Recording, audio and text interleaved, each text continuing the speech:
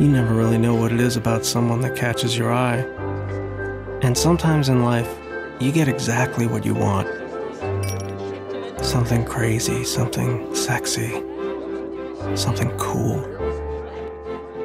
And if you have absolutely no idea what I'm talking about, I promise you, one day you will.